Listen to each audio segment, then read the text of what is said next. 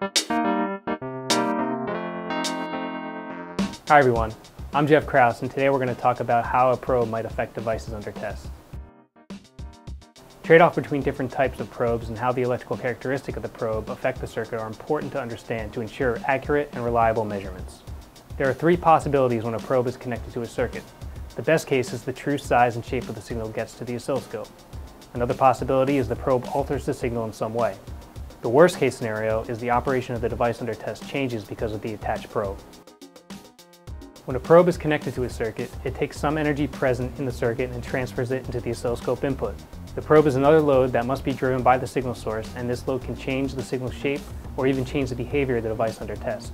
Probes are designed with a higher resistance in the probe tip in hope of reducing the energy drawn from the circuit and thus to reduce the loading. This is important but only makes a difference at DC or low frequency AC signals. Let's consider the effects of frequency on the probe's impedance. At DC or low frequencies, the high input resistance dominates the overall impedance. As frequency increases, the capacitance dominates the impedance and dramatically lowers the overall impedance. The result of a high probe capacitance shows up in the signal shape.